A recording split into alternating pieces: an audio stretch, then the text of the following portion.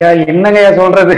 அதாவது உங்ககிட்ட நான் ஒரு முறை கேட்டேன். எனக்கு நல்லா ஞாபகம் இருக்கு. நீங்க கேள்வி கேட்டு பாருங்க அப்படின்னு. இப்ப அதை நினைச்சா எனக்கு காமெடியா இருக்கு எனக்கு. அஹ், எவ்வளவு அருமையா வெறும் வார்த்தை தாங்க ஐயா. வெறும் வார்த்தை அப்படியே வாழைப்பழத்துல ஊசி போற மாதிரி உள்ள ஏறுது. உங்ககிட்ட இருந்து இப்போ நான் சம்மரைஸ் என்ன பண்றேன்? ஒரு ஒரு நிமிஷம் ரெண்டு நிமிஷம். நான் எடுத்துக்கிட்டதெல்லாம் முதல் முதல் என்ன ஆட்டி உழுக்குனது வந்து ஆள் உறக்கத்துல நீங்க எங்க போறீங்கன்ற கேள்வி. அது இத்தனை வருஷமா எவ்வளவு வருஷமா போயிருந்தாலும் அதை கேள்வி கேட்ட ஆளு எனக்கு ரமணர் கூட தெரியல அப்போ. ரமணர்னு படிச்சிருக்கேன் அதுக்கு முன்னாடி ஓஷோ ஏதோ போயிட்டு வந்திருக்கேன். ஆனா ஆளுறக்கம் அப்படின்றது அது என்னவோ தெரியல. படிச்சிருந்தாலும் நீங்க சொல்லும் போது அது ஒரு உயிர் இருந்தது என்கிட்ட எனக்கு என்கிட்ட வந்து சேரும்போது அதுல ஒரு உயிர் இருந்தது இருந்தது. அதனால அப்படியே உயிக்குச்சு அதுக்கப்புறம் அப்புறம் படிப்படியா நானும் சொன்னீங்க அங்கேயும் நல்லா சரியா அடி விழுந்தது.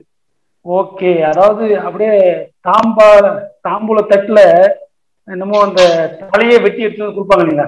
அது மாதிரி நீங்க எனக்கு இதுதான் நானு தான் அப்படின்னு நல்லா தெள்ள தெளிவா காட்டினீங்க.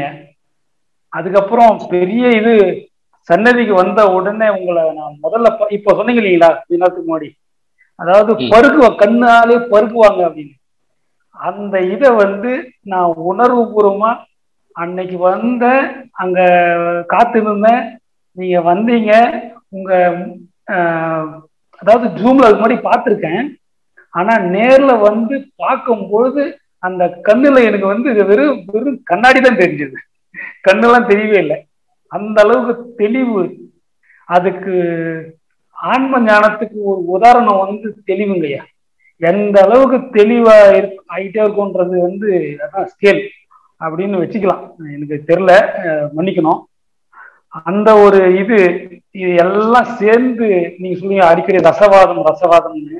நல்லா கலக்கி கலக்கி கலக்கி நல்லா கடைஞ்சி கடைஞ்சி அஹ் மோர்ல வெண்ணெய் எடுக்கிற மாதிரி உருவாகிக்கிட்டே இருக்குது.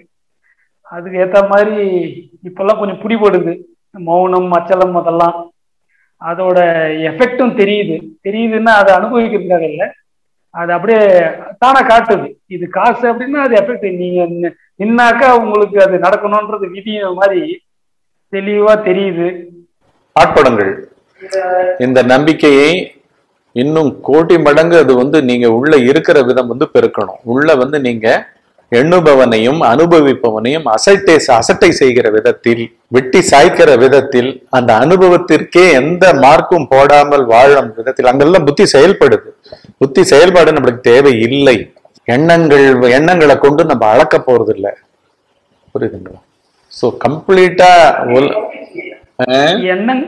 எண்ணங்கள் உணர்ச்சிகள் வந்து அந்த நானுன்றது வந்து எண்ணங்களும் உணர்ச்சிகளும் தான் இவ்வளவு வருஷமா நாற்பது வருஷமா அந்த நானுன்றது வந்து வேற ஒண்ணும் இல்லை. எண்ணம் உணர்ச்சி. எண்ணம் உணர்ச்சி. இதை நான். இது வந்து இப்போ தெளிவா தெரியறதுனால இதை தள்ளுங்கன்னு நீங்க சொல்லிட்டீங்க. அந்த எண்ணம் உணர்ச்சி வந்து அப்படியே கரையுது அதுவே. ஐஸ் மாதிரி மெல்ட் ஆகுது. வெயில் பட்ட உடனே ஐஸ் மெல்ட் ஆகிற மாதிரி மெல்ட் ஆகுதுங்க ஐயா அதுதான் சொல்லணும் உங்ககிட்ட.